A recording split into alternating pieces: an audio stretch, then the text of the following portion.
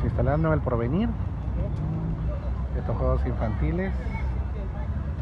Nuestro Grass Garden and Kit decorativo de 30 milímetros. Como pueden ver,